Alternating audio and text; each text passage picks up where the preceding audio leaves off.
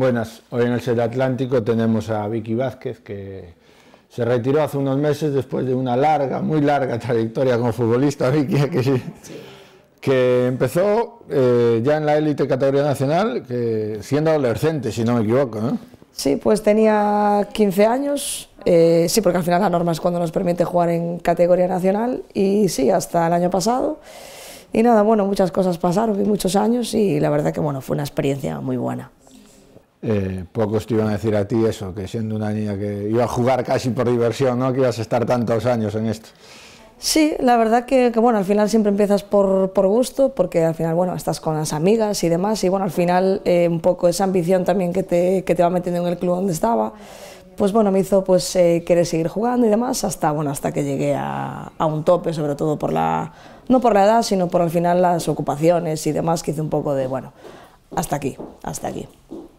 Y bueno, cuéntanos un poco, eh, muchos años en el Olivo, ganando ligas, con la suerte de jugar en primera, el único vez que un equipo jugó en primera, supongo que, que al recordar un poco es una, una, trayectoria satisfactoria, muy satisfactoria para ti. Sí, la verdad que sí, al final un poco esa ambición que comentaba antes creo que también se fue forjando un poco año tras año, al, al final estar siempre en la cima y el querer no bajarte siempre de ahí. Y bueno, sí que es cierto que cada año lo que buscábamos eh, era pues superarse pues al, al, año anterior. Y sí que es cierto que al final el, el, ese querer superarse en todas las temporadas pues hizo que la experiencia fuera, vamos, eh, súper bonita. Junto con las fases de ascenso, junto con el ascenso a, a Primera División, eh, la verdad que fue, vamos, espectacular. Supongo que, que, ahora se verá con mejor recuerdo que, que, el año que vivisteis que fue, que fue duro. Sí, a ver, con el paso de los años es cuando te das cuenta y dices tú, jo, yo estuve eh, en esa categoría, jugué contra esta gente, en estos campos de fútbol, en esto y lo otro. Durante sí que fue, fue duro, por, sobre todo por los, kilómetros que hacíamos, que al final recorras toda España. Pero bueno, en ese momento éramos bastante jovencitas, entonces te daba un poco igual en ese sentido. Y al final eso, la experiencia fue lo que más marcó, sin duda y también el, el, cambio, ¿no? de ser un equipo más o menos dominante, que ganabais casi siempre, a ganar muy poquito. ¿no? Sí, claro, ahí, ahí nos dimos cuenta del, del, salto tan abismal que era en ese momento, que al final sí, lo que tú dices, estábamos en segunda división por aquí, era sí, éramos muy dominantes, pero claro, salías de aquí y ya se te acababa el chollo. Y ahí ya nos dimos cuenta de, ah, espérate, que hay otras cosas por ahí fuera y hay muchísimo más nivel pero bueno, eh, nos vino bien también un poquito, no como cura de humildad, pero sino para ver que hay muchas más cosas y más nivel todo por, por ahí fuera. Y hablamos hace poco en el Mundial que curiosamente, viendo jugadoras actuales de la selección que, con, contra las que jugaste tú ya hace, hace más de una década. Sí, eso la verdad que fue, o sea, a mí me gustaba mucho sobre todo ver los partidos y, decir, y decir, yo jugué contra esa chica, ah, esa chica eh, vino a Navia, ah, esa chica jugó, estaba en tal equipo y jugó aquí y mira ahora dónde, dónde está, ¿no? Un poco sí que era esa sensación de, jova, pues qué satisfacción de haber formado parte de la historia un poquito así de, de, Vigo y haber jugado sobre todo contra esa gente que al final dices tú, ostras, esta chica no es nada más y nada menos que campeona del mundo y yo jugué un día contra ella, un par de veces, entonces dices tú, bueno, está muy bien, la verdad. Bueno, y lo que me decías de los viajes, la liga no era lo que es hoy en día, pero sí que vosotras eres un equipo que, que, no tenía estructura, ¿no? por decirlo así, para competir mucho tiempo. No, no teníamos estructura. Básicamente teníamos nuestro equipo, o sea, el equipo A, vaya, el equipo senior, y luego sí que había categorías inferiores que, si no me equivoco, teníamos de fútbol sala, luego teníamos un filial, pero realmente un poco, pues, eh, iba, cada equipo iba cada uno como por su, por su lado, ¿no? y al final eso, no tener estructura y al final al ser pues eh, uno de los equipos más humildes de la categoría a nivel económico, eso bueno, te hace un poquito ir eh, a remolque con respecto a, a, otros equipos. Pero bueno, independientemente de eso, eh, bueno, tuvimos la oportunidad de ganar algún que otro partido, tampoco fue horrible, pero, pero bueno, quizás nos queda un poco la espinita de, bueno, y a lo mejor si hubiésemos, si nos hubiese cogido en otra época o en otro momento, o en otro entorno quizás igual hubiese sido diferente, pero bueno, aún así, vamos, la experiencia fue muy buena. Sí, si no, si no hubiera sido tan de pronto, ¿no? También, si, si hubiera uno sabido a dónde llegaba, to, todos un poco, ¿no? Sí, hombre, yo creo que al final esas ligas intermedias que llevábamos tanto tiempo pidiendo, porque al final es lo que te decía antes, ese salto era, pero un abismo, o sea, una diferencia, pero vamos, eh, muy grande. Y al final, claro, eh, esa petición, digamos, de, de, que hubiera esas ligas intermedias, parecía que no daba llegado. Hasta ahora yo creo que con las ligas que hay, creo que se igualó un poquito todo y creo que es lo más acertado, creo yo. Eh, y cuéntame, porque hablamos de esa época, pero tú seguiste jugando muchos más años y, y, y creo que es algo que tiene bastante mérito, pues no es fácil, ¿no? De verse ahí arriba y, y mantener sobre todo la ilusión, la ilusión de, ir de seguir entrenando sin ser profesional, que al final tú no te dedicas a eso. Pero bueno, al final, eh, yo en mi caso hablo, hablo por mí, yo jugaba porque me gustaba y al final eh, me hacía mucha ilusión seguir jugando, eh, me hacía ilusión pues ver que también esto creciese tal vez, cada vez un poco más. Y bueno, era, era eso, o sea, yo jugaba por, realmente por gusto y al final, bueno, por un poco esa ambición de, bueno, pues cambio de, de aires, bueno, pues vamos a intentar aquí a ver si somos capaces. Entonces era un poquito un, un punto de, como de, de juntar eh, la ilusión con el, bueno, vamos a seguir haciendo cosillas por aquí. ¿Cómo uno se plantea ya cuando es hace dos, tres años, cuando ya ve que es la, claramente la, la, mayor. A ver, que por una parte creo que un vestuario, creo que también es bueno que haya pues eh, gente mayor, gente joven, o sea, creo que, haya, o sea, la, que sea heterogéneo, pero bueno, sí que es cierto que ya, con el paso de los años, sobre todo por el trabajo básicamente, era de esto de pff, hay que parar un poco, hay que descansar un poco, porque ya casi prácticamente por horarios, ya prácticamente me era inviable muchas cosas, entonces se complicaba, entonces decía yo, bueno, mira, vamos a dejar eh, esto, que al final es, ya no me da. Entonces lo, deja, lo dejé. Y cuéntanos, sobre todo, cómo era tu vida un poco para que vea la gente que, que ibas a, a, salto, ¿no? Que, que llevas todo.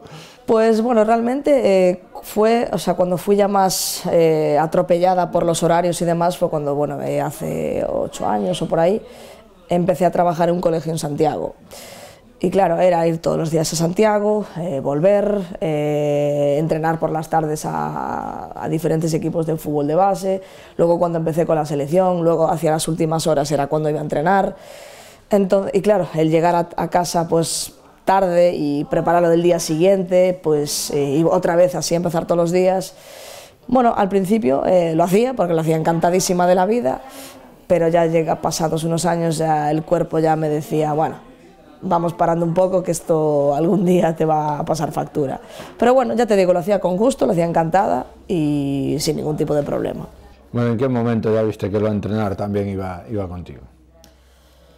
Pues quizás hace unos añitos cuando estaba en el, en el Rápido de Bouza, es que bueno, tuve mucha suerte, que me dieron una generación bastante buena y, y bueno, pudimos hacer cosillas interesantes y ahí sí que dije yo, ay, esto, esto sí que me gusta y bueno, parece que se me puede empezar a dar bien por aquí. Me formé también con los cursos de entrenador y, bueno, es una faceta que también me gustó mucho y, nada, bueno, aún, aún, aún sigo a día de hoy.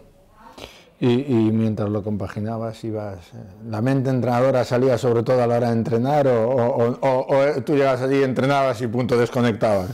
Era, era difícil, era, era, era, difícil porque al final, eh, bueno, tienes conocimientos, ya sea por, por haber jugado muchos años o conocimientos a nivel teórico, lo que fuese, por los cursos y ya me resultaba difícil el intentar de no, no, no, hay que separar, al final esto, yo aquí soy una, una jugadora y sí que es cierto que al final también un poco llegó ese, ese, ese, ese momento de decidir, de dejarlo, porque ya esa parte de entrenar me estaba ya ocupando más la cabeza y ya no me dejaba pues o, o solo disfrutar del simple mero hecho de jugar. Entonces ya dije, no, ya me está, la cabeza ya me está yendo hacia otro lado, entonces dije yo, no, hasta, hasta aquí. ¿Y, ¿Y, ayuda a formarse como entrenador ya en tus últimos años como jugadora? ¿Se, ayuda o, no es tan fácil aplicarlo una vez que estás en el campo? Yo creo que sí. Al final, bueno, también creo que es una, un poco una consecuencia de todo, ¿no? de, los entrenadores que tienes, eh, de todo lo que vas aprendiendo a nivel teórico y demás, y sobre todo eso de lo que vas viviendo con los partidos, con la experiencia y demás. Creo que es un poco como el, el conjunto de todo eso, sí que es cierto que me ayudaba a ver más cosas. Pero bueno, también te digo, el, en ese sentido, los entrenadores creo que hicieron mucho también. Eh, vi el otro día que, que os reunisteis un grupo de, de, de de Olivo, ¿no? que no se lleva mucho tiempo sin hacerlo. Pues bueno, tuvimos ahí en verano una, una boda de una, de una, compañera y nos juntamos unas poquillas, pero bueno, tuvimos ahí una, una idea de, de, juntarnos y la verdad que fue súper chulo. Fue súper chulo porque bueno, al final eh, te das cuenta que el tiempo no pasa, que son amistades que van a durar eh, toda la vida y la verdad que estuvo, estuvo muy bien, la verdad, yo me lo pasé muy bien. Eh, y supongo que, que al final eh, lo que hablábamos antes, que, que, vosotros sobre todo jugasteis muchos años juntas, la gran mayoría, ¿no? Que... Sí, eh, la verdad que con alguna que andaba por allí, pues igual, desde los 16 hasta los, no sé, 20 y pico, cuando al final se acabó, se acabó lo del o sea, a lo mejor entre 5, 6, 10 años con algunas, entonces al final, al convivir durante tantos años, pues al final son amistades... Eh, verdaderas, por decir de una manera.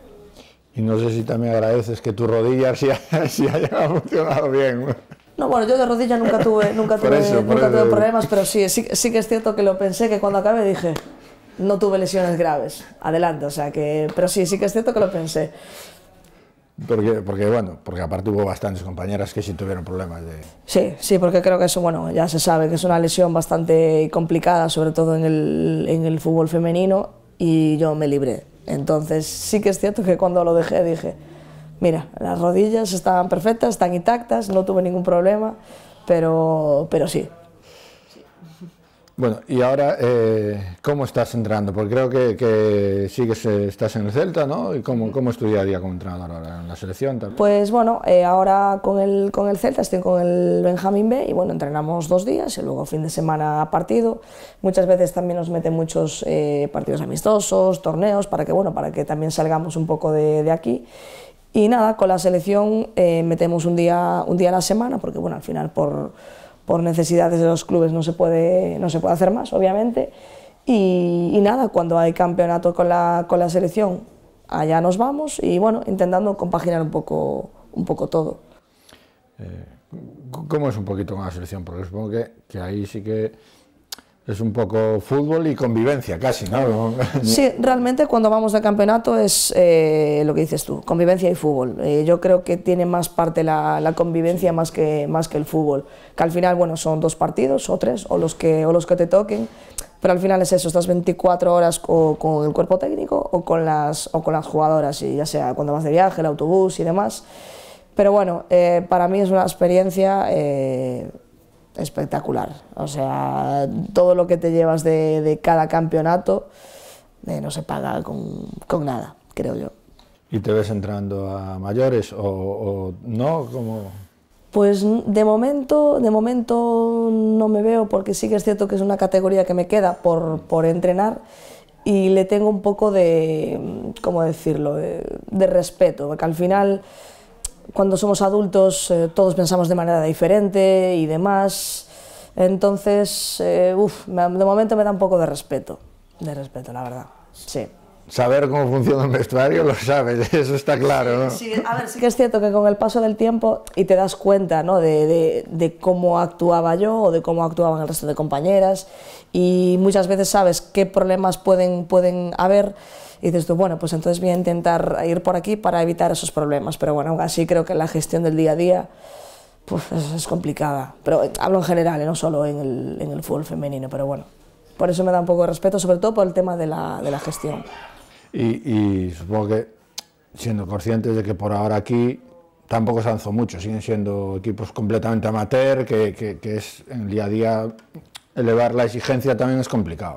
Sí, porque al final eh, son equipos o jugadoras que al final están por, por, gusto o simplemente por una compensación económica mm, muy reducida, entonces al final esa exigencia, bueno, es complicado, que sí que es cierto que una vez que creo que adquieres un compromiso la exigencia tiene que ser altísima, pero bueno, es un poco la, el sí pero no, sí pero no, de sí me exiges pero eh, no estoy cobrando, entonces no sé, es una línea muy, muy, muy delgada, muy fina y bueno, hay que hilar muy fino para, para apretar a la gente, creo yo. Es, es complicado. Claro, es, ya más una apuesta personal, ¿no? De que te encuentres un grupo que sí quieran. Justo, eso es, y que alguien pues diga, bueno, pues a mí me da igual eh, no vivir de esto, pero voy a muerte con esto. Pero claro, siempre sale la cosa de, eh, no estoy cobrando. Que en parte lo entiendes, porque dices tú, a ver, yo no vivo de esto, vivo de mi trabajo, pero claro, ya te digo, es una línea muy delgada de, bueno, yo sí, yo, o sea, yo, por ejemplo, yo nunca viví de, de jugar y yo estaba dispuesta, con el paso del tiempo ya estás menos dispuesta. A, lo mejor a festivos o cosas así, dices tú, ya se me fastidia otro festivo más. Entonces, bueno, depende yo creo que muchas veces de, del momento de tu vida o de la edad que tengas, creo yo. Sí, respecto a eso también estaba pensando que, claro, cuando estás en un grupo que estás con tus amigas, no te importa a lo mejor perder un festivo. Claro, cuando ya estás en un grupo que no, no es tanto así, ya... A ver, al final, pero bueno, ya te digo, yo por ejemplo, esto con el tema de, de, los festivos o de las vacaciones o de tu tiempo libre, sobre todo cuando eres mayor, es cuando dices tú, estoy trabajando toda la semana de sol a sol y, y tengo esta tarde libre y me pones un entrenamiento, en serio. Tienes un poco esa reacción que, que al final vas porque tienes que cumplir pero sí yo creo que te acaba minando poquito a poco, entonces que fue un poco lo que creo que me pasó a mí, de mira, eh, ahora por ejemplo valoro un festivo, valoro una tarde libre, cuando antes eh, decía yo, ah, no pasa nada, ahora sí, ahora sí que lo valoro.